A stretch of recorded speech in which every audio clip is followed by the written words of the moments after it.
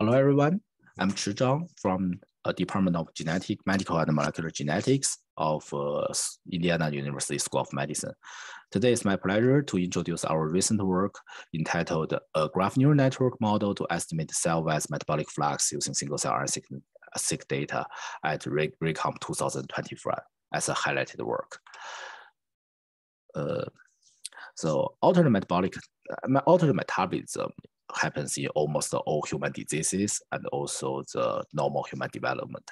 And knowing the metabolic changes in human disease can offer the kind of the new understanding of the underlying biomedical and metabolic stress in human disease, and uh, also enable us to identify new drug targets to target altered metabolism and also discovery of new biomarkers uh, for early diagnosis or disease monitoring of disease progression, such as especially for the low invasiveness, low invasiveness approaches, such as the, uh, for blood-based measures, and also even for uh, personal wearable sensors. And also we can provide diet and nutrition recommendations for, for patients of different diseases.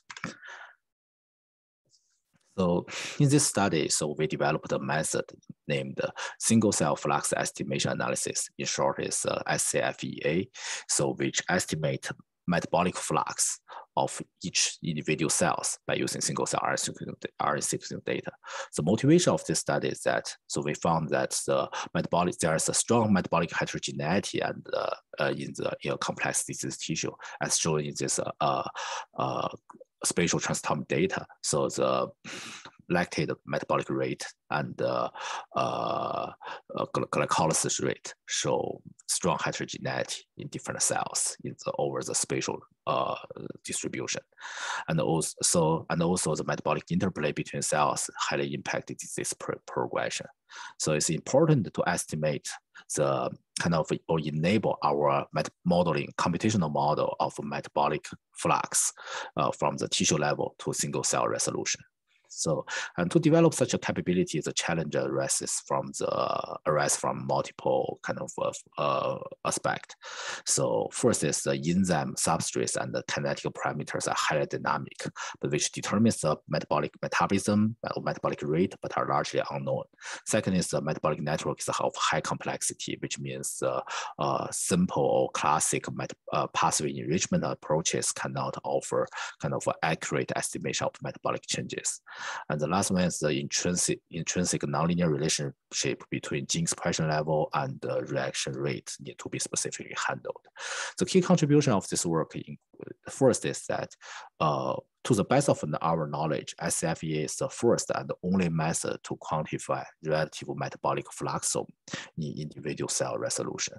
So to enable this capability, we develop a new optimization strategy to solve mass carrying flux over a complex network, which we consider is a relatively, is a relatively hard mathematical question. And also we develop a downstream analysis of metabolic stress, metabolic states, and the identification of uh, key enzymes that may affect the metabolic, the, the, the, the key metabolic changes. So I would like to start with the computational hypothesis and the problem formulation. So first, we consider the human metabolic network is of too high, comp the complexity is too high. So we want to reduce it to enable an effective model. And uh, we consider so the, the network can be reduced in, into numbers of connected modules, which means uh, kind of linked reactions can be merged into module, a module, metabolic module, without lose, without losing the major uh, uh, topological property. And the second is a metabolic network can be reconstructed into a factor graph in which each module is considered as a variable and each intermediate metabolite can be considered as a, a factor.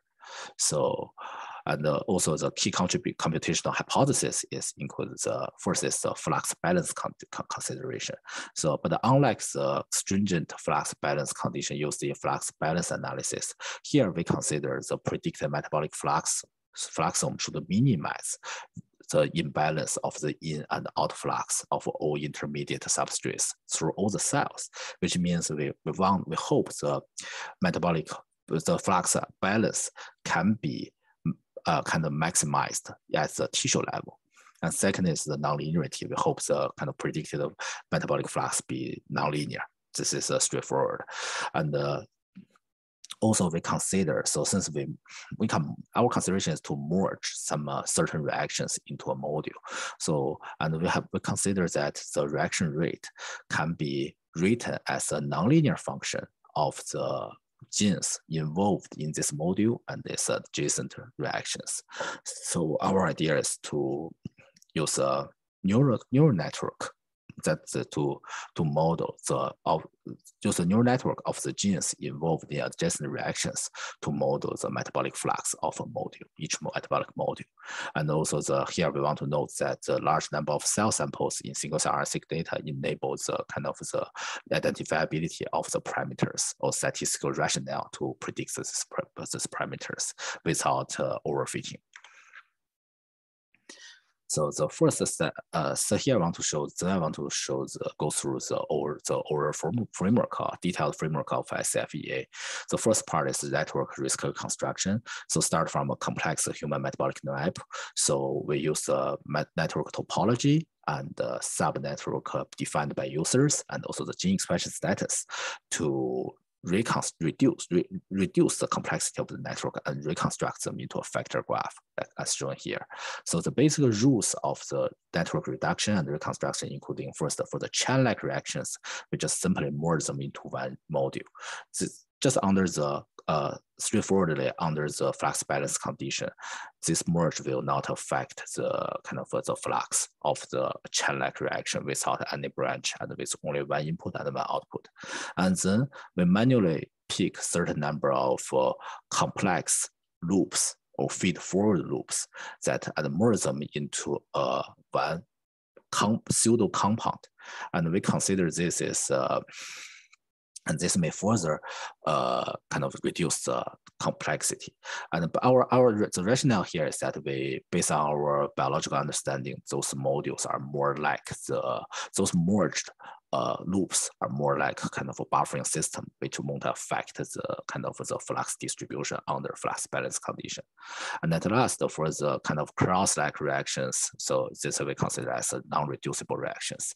Based on this approach, currently we reduce the human metabolic network. We, first, we collect the whole human metabolic network from the different resources, including KEGG and the human transporter database, and also the uh, literatures. And we collect including glycolysis and central metabolism, amino acid metabolism, fatty acid metabolism and biosynthesis, and also the large molecule, uh, large, large molecule biosynthesis pathways that we think are make, may cover almost all of the human metabolic map. And uh, in total, we have reconstructed into a linked uh, map of consist of 169 modules and here's we can you can check the details in our paper. So, and after we get this uh, uh, network uh, reconstructed and for any single cell input single cell RNA data. So the uh, the flux estimation is uh, conducted by solving this uh, flux this this loss or this uh, self-constrained model. So in detail, first we want to we consider for each module, the each cell is a, can be written as a neural network of the genes involved in this module. And second, we hope the flux balance condition can be reached. That means we want to minimize the flux balance of the for each intermediate uh, metabolite. Also add the non-negative loss and also the consist the loss of the inconsistency between gene expression and predicted uh, flux. I will I will tell the talk the detail about this later, and also we add the scale. So here is the detailed loss function. So the first for one module composed of a certain number of genes. So the modules, the flux rate gets written as a neural network of the uh, uh, uh, of those genes. And uh, we hope the flux balance loss can be first uh, minimized. And also the non-negative loss is straightforward. And also we, we note that, so in our testing of the highly sparse data, we found that adding uh, this loss may increase the kind of the performance, which is controls the, the correlation, kind of uh, the we want to keep a relatively high correlation between the predicted flux and the total expression level of the genes in this module, in each module. And the last one is uh, we know that here this model is uh, the first three terms is a self-constrained model, which means you have a trivial solution. If we add uh, just uh, simply uh, make set flux equal to zero, it will get uh, minimized. So we add the scale scale of the, the flux total flux scale to this model, which is the total expression level of the metabolic genes. And here alpha, beta, and gamma are hyperparameters. And this is how the loss changes or converge in a real data, in a real world data application. So here is the a toy model for more model details of our, our, our, our, analysis. So here each R is one reaction and each C is a compound, which is a factor. And uh, to and here we can, and here each R is a R2, for example, R2 is a neural network of this third gene inputs. And to model this, notice this is self-constrained model, and to solve this is kind of we miss, we may have to develop certain tricks. So just consider if we each time we update the reaction, what will happen is that it will can never very hard to get into the global minimum, uh, global minimum as the kind of uh, the this part will be so kind of uh, if we want to effectively minimize the loss, the loss is on the C rather than than, than R. So we, we have to kind of uh, uh, perturb each compound which means they are adjacent reactions together rather than perturbing one. So however, if you do this perturbation, what will happen is, is that it will further affect the kind of its hop one neighbors. So to solve this issue, so we develop a solution from the perspective of belief propagation. So when we perturb each compound, the, the flux balance of each compound, we will not we will, we will also kind of uh, changes the affect uh, changes the hop one neighbors and add a certain weight to the hop the loss of the hop one neighbors.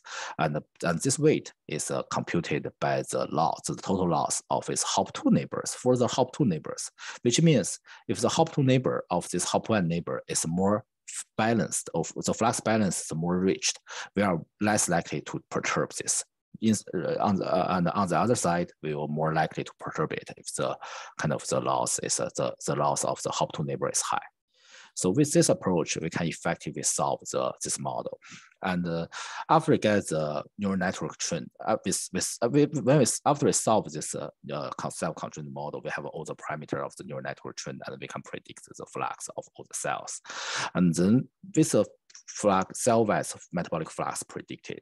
It enables the downstream analysis, including metabolic stress analysis, which means we can compute which metabolites are more accumulated or depleted.